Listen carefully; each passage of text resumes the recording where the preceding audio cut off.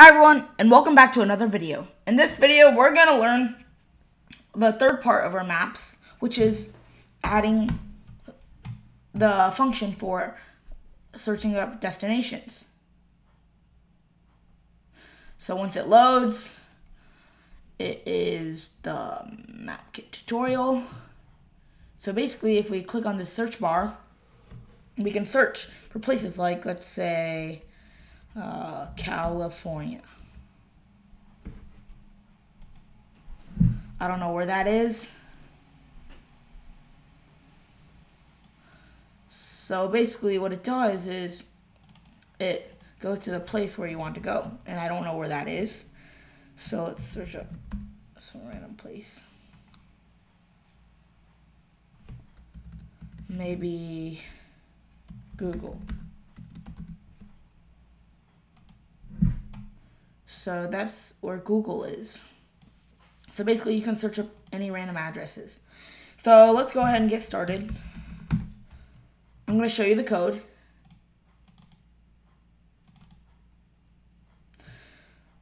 So basically we have, uh, if we see we're importing MapKit and then we're handling a map search where we drop pin and we zoom in.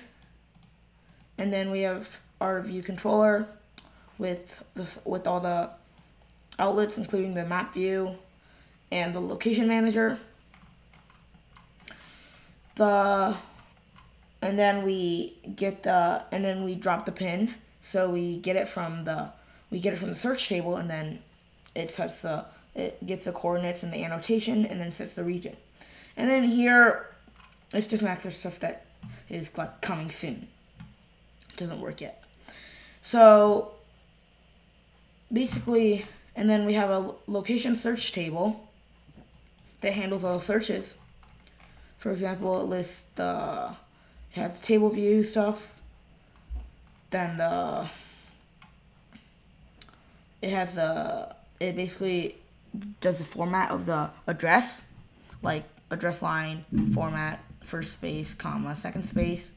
And so basically that's how it works. It's gonna have a location search table and also the and the um, map. So basically, you can I set I when I was doing the map, I set it to a freeway drive, and actually, the the final thing I want to show you is a view is a main.storyboard. Not not much added. I mean, we deleted the we deleted the uh, other we deleted the segmented control because there's no space. So bye bye segmented control. If we run this should work as usual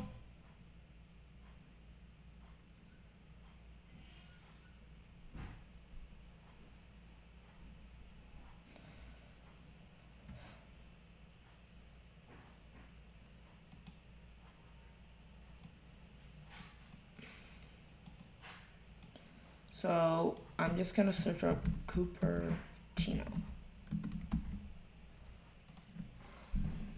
And then, so basically if you click it, it's going to show you Cupertino and that's our freeway drive thing that I set here. Let's say we set it to a city bicycle ride. Then we move over to another street.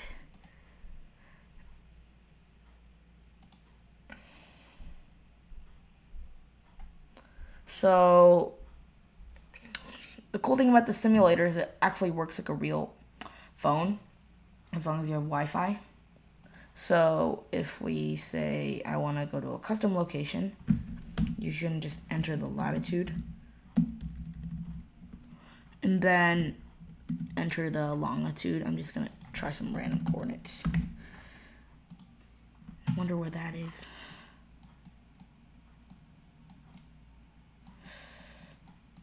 Okay, we're gonna have to look some time to find that. if you know like a place where where you know the latitude and longitude, then you can do that. And so let me see the this part was actually for like getting directions to the place, but somehow that button is not showing up. So if we look, I'm gonna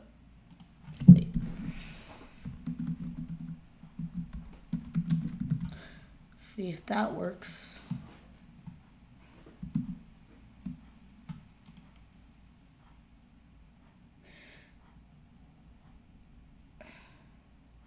So we have it zoomed onto our current location.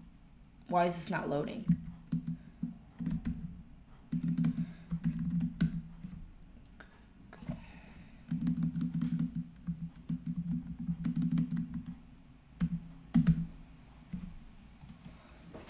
So basically what it's supposed to do is supposed to put a button right there.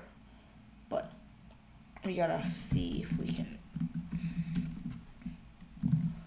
So we do var button.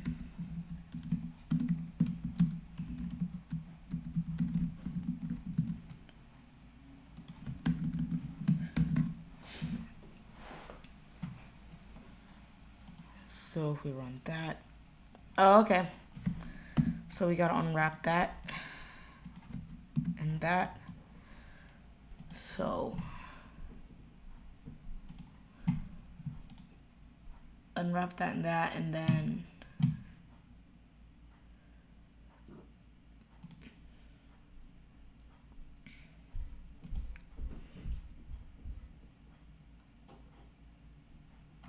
Let's hope this location new location loads. Uh Oh, whatever. So let's search up another place.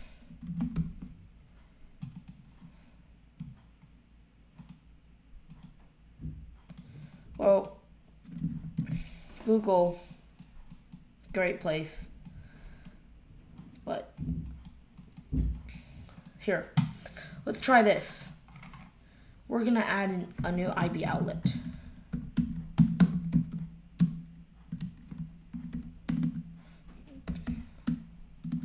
and IB action.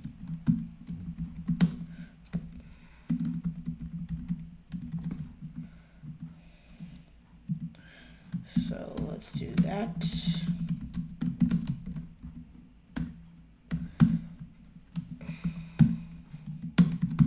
And then let's say func get directions.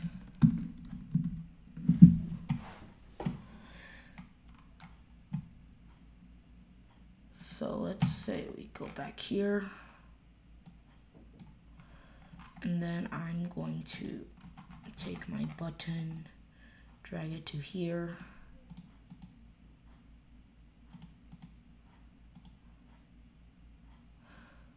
Here. I'm going to change the text to that to directions. And then change that to bordered. And then link it up. Then we'll run and then hope it works